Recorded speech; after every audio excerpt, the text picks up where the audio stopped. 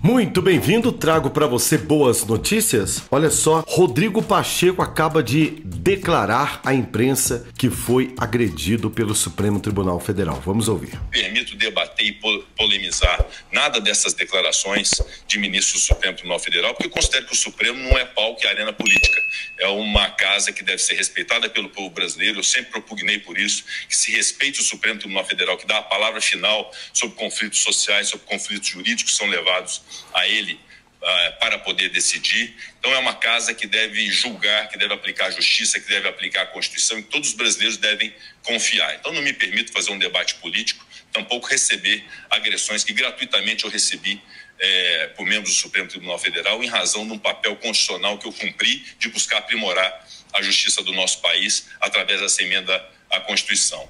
E quero dizer que nós continuaremos cientes da nossa responsabilidade constitucional, porque nós representamos mais de 200 milhões de brasileiros, nós somos votados, eu tive mais de 3 milhões de votos, de votos no meu estado de Minas Gerais, outros senadores foram votados para representar o povo brasileiro. Nós vamos continuar a buscar fazer o bem para esse país, de defender a democracia, de defender as pessoas que precisam nesse país de uma política que seja uma política madura, respeitosa. O Rodrigo Pacheco agora parece que acordou de um sono, né? É, brasileiros foram presos, amigos e colegas dele foram caçados. Eu não sei se o senhor se lembra, Rodrigo Pacheco, mas muitos amigos seus foram caçados implacavelmente por essa corte. A pergunta que eu faço o que aconteceu com o senhor Rodrigo Pacheco. Não que eu esteja achando ruim, eu estou achando o máximo. Afinal de contas, 3 milhões de mineiros depositaram a confiança no senhor. 3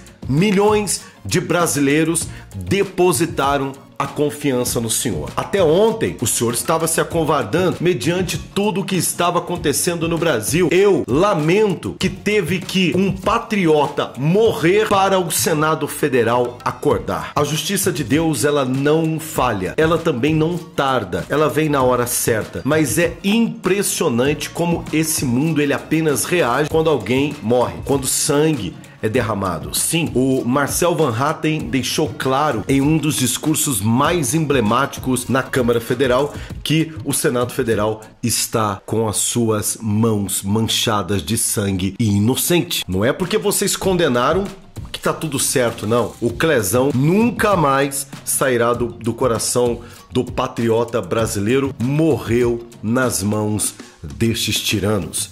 A justiça de Deus, ela chegou, pelo menos ao que tudo indica.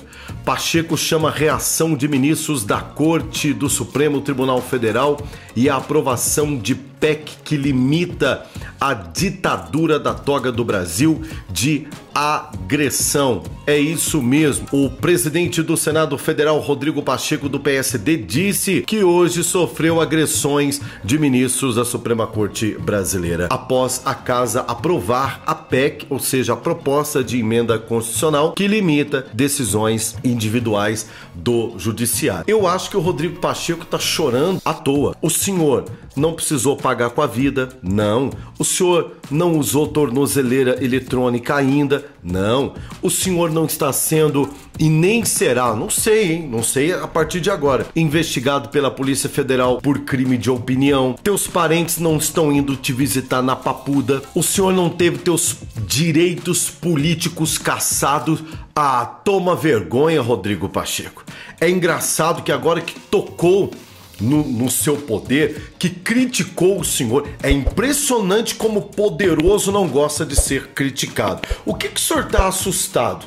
A pergunta que eu faço para o senhor Rodrigo Pacheco: onde o senhor estava esse tempo todo? Esta corte agressora, essa corte lamentavelmente ditatorial, essa corte opressora está atuando nesse país desde 2018, quando o Brasil elegeu um novo presidente para esta nação e estamos até hoje pagando um preço caríssimo, senhor Rodrigo Pacheco, inclusive de cerceamento de direito à liberdade de expressão. Bem, o senhor disse que os senadores da República foram eleitos por mais de não sei quantos milhões de brasileiros, agora eu não me recordo o número, para representar a vontade popular. A pergunta que eu faço faço para o senhor Rodrigo Pacheco. Onde o senhor estava quando milhares e milhões de brasileiros saíram às ruas pedindo o impeachment desses ditadores. O senhor agora vem falar de representar direitos dos cidadãos brasileiros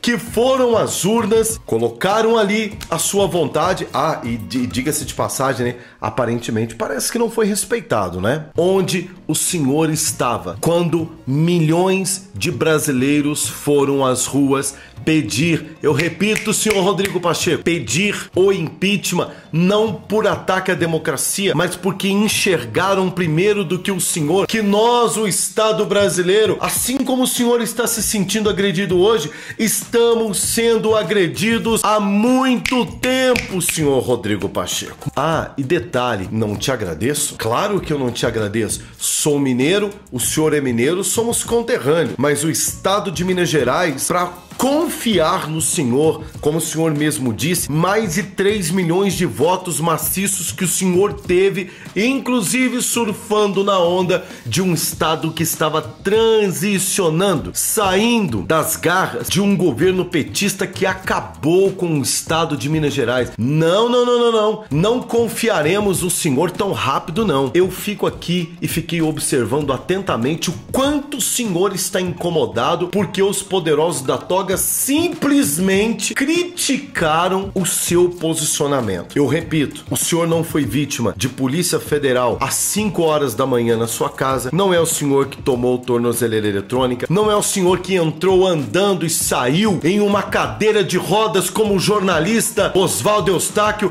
que entrou andando e saiu de cadeira de rodas da cadeia, não é, não é a sua mãe que escreveu uma carta pedindo por misericórdia, como a mãe do Daniel Silveira, seu companheiro de política, e o senhor não fez nada. O senhor não fez absolutamente nada, quanto mais de 1.600 patriotas foram colocados na papuda e na colmeia como verdadeiros bichos, estão sendo condenados a 20, 16, 12 anos de cadeia sem o direito de se manifestar. O senhor até agora não compactuou com a nota tardia da Ordem dos Advogados do Brasil, por exemplo, que fez e publicou uma nota dizendo que nós vivemos um estado de exceção, que a Suprema Corte Brasileira, ao qual no finalzinho da sua crítica e o senhor subindo razoavelmente o tom contra a agressão que o senhor sofreu do Gilmar Mendes do Barroso, o senhor até agora não manifestou como um advogado, como alguém que é associado à Ordem dos Advogados do Brasil, de que essa corte não respeita o direito de ampla defesa neste país. Rodrigo Pacheco, o senhor é uma vergonha.